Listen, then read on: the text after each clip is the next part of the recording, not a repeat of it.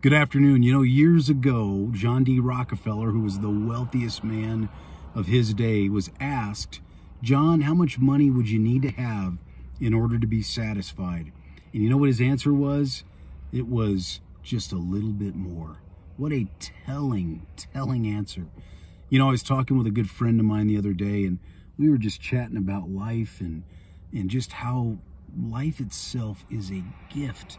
It's a miracle man, if you can walk and talk and see and smell and get your feelings heard and all the different things that come with life, that is a gift. It is a divine gift that has been endowed to us by our Creator.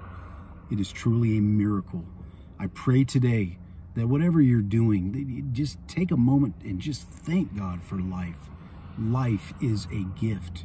I pray that you have a good week and a good weekend. Have a great day.